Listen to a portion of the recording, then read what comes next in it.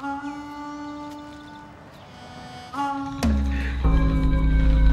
that's bad luck to touch a fella with a broom.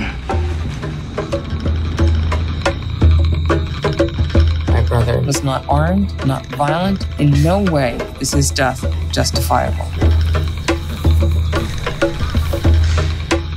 Someone asks me about violence, I just find it incredible because it, what it means is that the person who's asking that question has absolutely no idea what black people have experienced in this country.